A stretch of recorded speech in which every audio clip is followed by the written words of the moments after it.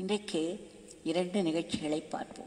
பகவான் தன்னுடைய பக்தர்களுக்கு மட்டும் கருணை காட்டுவதோடு நிற்பதில்லை. பக்தர்கள் அல்லாதவர்களுக்கும்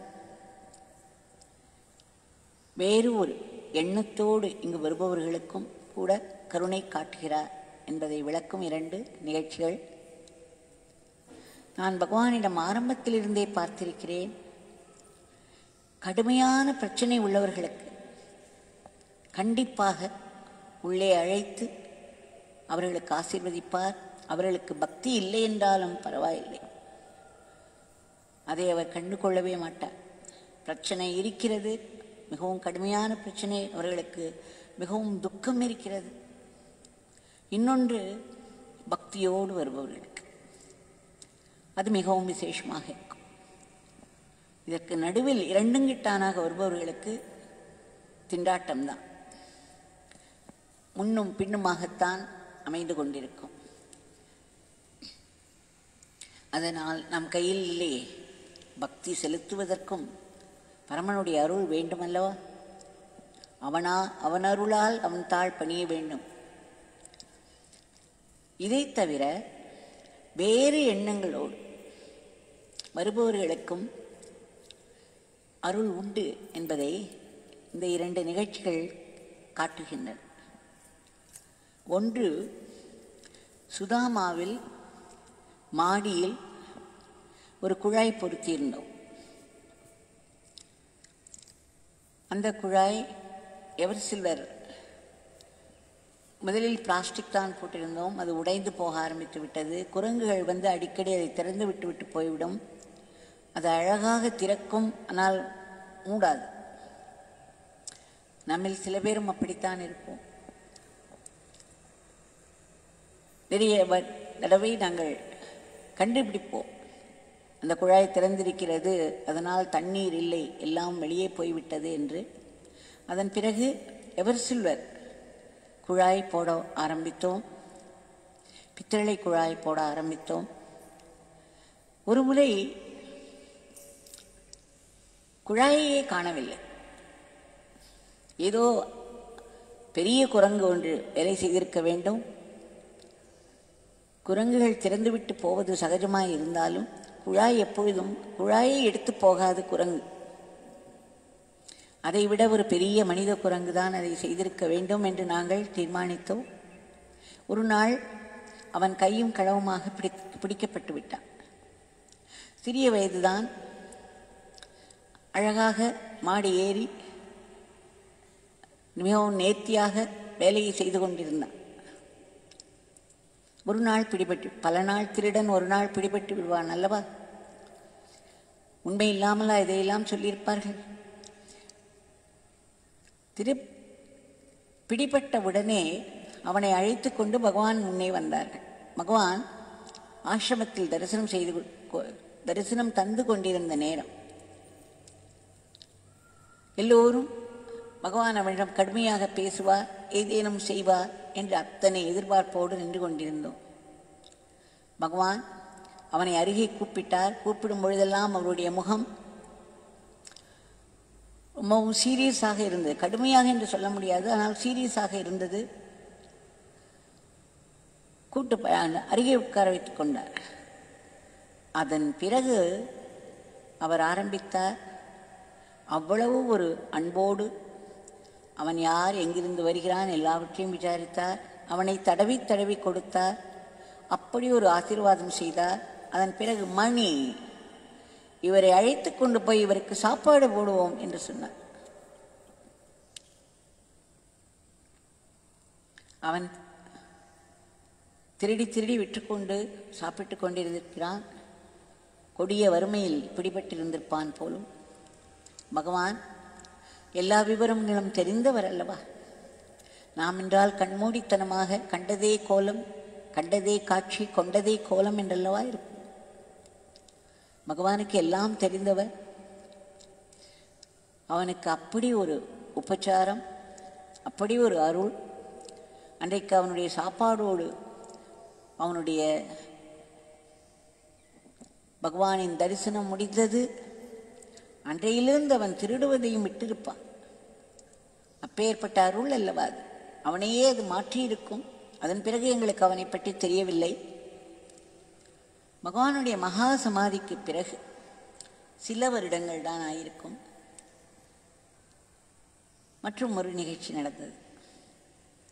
ஒருவர் காலை வேளையில் வருவார் ஒன்பது மணி அளவில். மிகவும் நன்றாக இருப்பார் பார்ப்பதற்கு. ரொம்ப டீசெண்டாக ட்ரெஸ் பண்ணி கொண்டு நெற்றியில் குங்குமம் எல்லாம் அமர்க்களமாக இருக்கும். உள்ளே வருவார். வந்தது மட்டுமில்லாமல் கணீர் என்ற குரலில் யோகிராம் சுரத்குமார் பாட்டு பாடுவார். அவர் பாடுவதில் மகிழ்ந்து எல்லோரும் அவர் பின்னே சொல்லிக் கொண்டிருப்போம். ஒவ்வொரு முறையும் அவர் நன்றாக யார் நன்றாக பாடினாலும் அவர்களுக்கு வாய்ப்பு தர வேண்டிதானே. அவர் தினமும் வந்து பாடிக்கொண்டிருப்பார். அவருக்கும் ஒரு வாய்ப்பு தருவோம். அவர் பாடுவார் நாங்கள் எல்லாம் பின்னாடி பாடிக்கொண்டிருந்தோம். அவர் நன்றாக பாடுவார் விடாமல் பாடிக்கொண்டிருந்தார். ஒரு நாள் அப்பொழுது கட்டிடம் இன்னும் சில கட்டிடங்கள் கட்டிக்கொண்டிருந்த நேரம். அதனால் ஆங்காங்கே இரும்பு சாமான்கள் கிடக்கும் பித்தளை சாமான்கள் கிடக்கும். பல வேண்டாத பாண்டங்கள் ஆங்காங்கே கிடக்கிறது அந்த சமயங்களில் எல்லாம் திடும் திடும் என்று ஏதாவது காணாமல் போய் கொண்டிருக்கும். அது ஆங்காங்கே இருப்பதனால் அந்த பில்டிங்கை கட்டும் பொழுது சில சமயம் வேண்டாமல் இருப்பதை இந்த கண்ணாமுண்டா சாமான்கள் என்று சொல்வார்கள் அங்கெங்கே போட்டு விடுவார்கள் அல்லவா? அதையெல்லாம் அவன் அதையெல்லாம் தினம் தினம் என்று காணாமல் போய் கொண்டிருந்தது. யார் என்று கண்டுபிடிக்க முடியாமலேயே இருந்தது. அதன் பிறகு ஒரு நாள் அந்த பழைய தர்ஷன் மந்திரில் துலாபாரம்.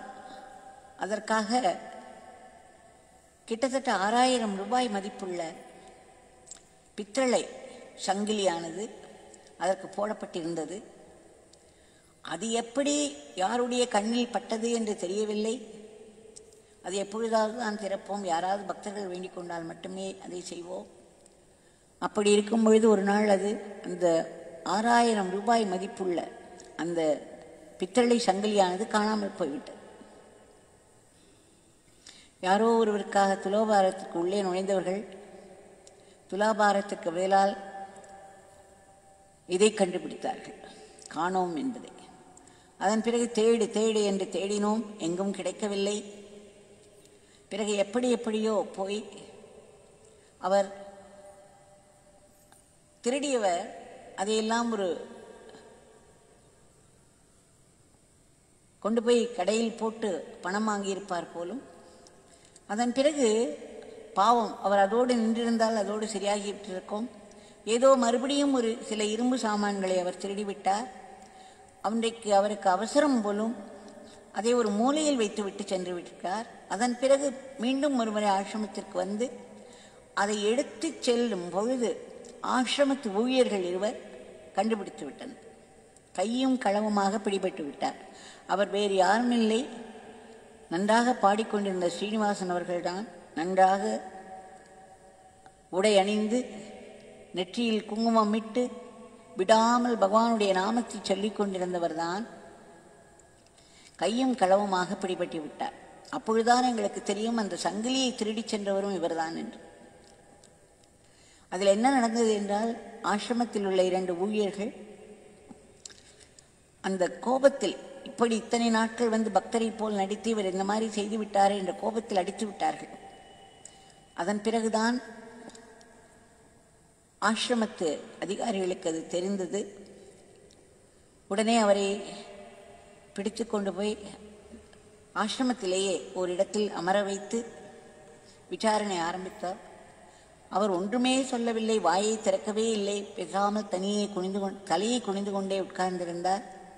அதன் பிறகுதான் எங்களுக்கு எத்தனையோ விஷயங்கள் காணாமல் போன விஷயங்கள் அத்தனையும் அவரிடம் பணமாக மாறியிருந்திருக்கிறது என்று அவர் நடந்து கொண்ட விதம் அப்பொழுது கூட ஒரு அடக்கமில்லாமல் எந்த ஒரு விவரமும் சொல்லாமல் உட்கார்ந்திருந்த விதம் எல்லோருக்கும் சற்று பயத்தை மூட்டியது. சரி இவரை வெளியே விட்டால் மறுபடியும் ஆபத்து தான் எத்தனை விலையுயர்ந்த பொருட்கள் எல்லாம் காணாமல் போய்விடுமோ என்று கடைசியில் போலீஸில் சொல்லிவிட்டோம். அவர்கள் வந்து அழைத்து கொண்டு போய்விட்டார்கள். அப்பொழுது அவரை ஜெயிலில் போட்டு விடுவார். அவருக்குரிய தண்டனை கிடைத்தாகிவிட்டது என்று எல்லோரும் சாந்தமாகிவிட்டார்கள். அப்பொழுது திடமென்று போலீஸ் ஸ்டேஷன்லேருந்து ஒரு ஃபோன் வந்தது. என்னவென்றால் இவரை நாங்கள் ஜெயிலில் போட முடியாது. இவர் எத்தனை குற்றம் செய்திருந்தாலும் இவரை ஜெயிலில் போட முடியாது. ஒரு சிக்கல் இருக்கிறது என்றார்கள். என்னவென்று கேட்டால் ஆசிரமத்து ஊழியர்கள் இருவர் அவரை அடித்திருக்கின்றனர். அதனுடைய அடையாளங்கள் சுவடுகள் அவருடைய முதுகில் காணப்படுகின்றன. இது சட்டத்திற்கு புறம்பானது. இவர்கள் உங்கள் ஆசிரமத்தில் தொண்டு செய்யும் ஊழியர்கள் என்பதனால் உங்களுக்கு நாங்கள் இதை அறிவிக்க வேண்டிய நிலையில் இருக்கிறோம் இல்லையென்றால் நாங்கள் உடனடியாக ஆசிரமத்துக்கு வந்து அவர்களையும் கைது செய்து விடுவோம் இவனையும் ஜெயிலில் தள்ளிவிடுவோம் அவர்களையும் ஜெயிலில் தள்ளிவிடுவோம். நீங்கள் என்ன சொல்கிறீர்கள்? உங்கள் ஆசிரமத்து ஊழியர்களை நாங்கள் கைது செய்தாக வேண்டும் ஏனென்றால் ஒரு சரியான விசாரணையின்றி அடிப்பது என்பது ஒரு பெரிய குற்றம் என்று கூறினார்கள். அதன் பிறகு ஆசிரமத்திற்கு தொண்டு செய்பவர்கள் பகவானுக்கு உண்மையாக இருப்பவர்கள் எத்தனையோ வருடங்களாக இருப்பவர்கள் அவர்களை போய் காட்டிக் கொடுத்து இந்த மாதிரி ஜெயிலில் போடுவதா என்ற ஒரு கேள்வி வந்தவுடன் அதை செய்யவே முடியாது என்று தீர்மானித்தோம். அப்படி சொன்னவுடன் அவர்கள் அடிபட்ட தழும்புகளோடு இருக்கும் இவரை நாங்கள் ஜெயிலில் போட்டோமானால் எங்களுக்கு வேலை போய்விடும் என்று சொன்னார்கள். அதனால் அந்த திருடியவர் விடுபட்டு விட்டார். அவர் வந்து உட்கார்ந்து உட்கார்ந்து நாமம் சொன்னது வீணாகவில்லை. அவர் குற்றங்கள் செய்தாலும் கூட அவர் சொல்லிய நாமம் தான் அவரை காப்பாற்றி இருக்க வேண்டும். ஜெயிலில் போட்டிருந்தால் எத்தனையோ நாட்கள் தீட்டியிருப்பார்கள் அடித்திருப்பார்கள். எல்லாம் வேறு மாதிரியாக ஆகியிருக்கும் அவருக்கு. அவர் கூறி தினம் தினம் வந்து நாமத்தை சொல்லிக் கொண்டிருந்தார் அல்லவா? பகவான் அவரை எப்படியோ காப்பாற்றிவிட்டார். அவர் ஒரு நல்ல குடும்பத்தைச் சேர்ந்தவர் தான். ஆனால் இந்த ஒரு பழக்கத்திற்கு அடிமையாக இருந்தார். அவர் நாமும் சொன்னதினால் பகவானுடைய கருணை அவரை காப்பாற்றிவிட்டது. இந்த இரண்டு விஷயங்களிலும் நாம் பார்க்கிறோம். முதலில் பகவான் சரீரத்தில் இருந்த பொழுதே அத்தனை ஒரு அன்போடு அவரை திருடியவரை ஆதரவு காண்பித்து சாப்பாடு போட்டு அனுப்பினார். பகவான் சரீரத்தில் இல்லாமல் இப்பொழுது சூக்ஷ்மமாக இங்கு ஆசிரமத்தில் உலாவிக் கொண்டிருக்கிறார். இப்பொழுதும் அவருடைய கருணையானது வேறு விதத்தில் வேலை செய்து அவரை காப்பாற்றிவிட்டது. இதற்கு அர்த்தம் இப்படி செய்து கொண்டே இருக்கலாம் காப்பாற்றப்படுவோம் என்பதல்ல. பகவானுடைய கருணை அவர்களுக்கும் உண்டு என்பதை காண்பிப்பதற்காகத்தான் எந்த ஒரு குற்றமும் திரும்ப திரும்ப செய்பவர்களுக்கு கருணை தொடர்ந்து வராது. க- அந்த கருணை அவர்களை திருத்த வேண்டும் அல்லவா அவர்களை திருத்துவதும் கருணை தான் அதனால் அதற்குரிய எப்படி திருத்தினால் அவர்கள் திருந்துவார்களோ அந்த மாதிரி நடக்கும். நமக்கு பகவானுடைய அருள் என்பது எப்படி செயல்படுகிறது என்பதை இது காட்டிக் கொடுக்கிறது. இதை கிளிம்ஸ் என்று சொல்வோம் ஆங்கிலத்தில். அந்த பகவான் நம்முடைய வாழ்க்கையில் நாம் பல தவறுகளை செய்தாலும் நமக்கும் கருணை காட்டி வருகிறார் அல்லவா? எத்தனை பேருக்கு எத்தனையோ விஷயங்கள் நடந்து கொண்டு தானே இருக்கின்றன. நாம் என்ன தவறு செய்யாதவர்களாகவா இருக்கிறோம்? தெரிந்தும் தெரியாமலும் எத்தனையோ தவறுகள் இருந்தாலும் அந்த தெய்வம் நம்மை மன்னித்து நம்மை காப்பாற்றிவிடும். நாம் தொடர்ந்து செய்யக்கூடாது. நாம் அதனால் மாறிவிடும் திருந்து விட்டால்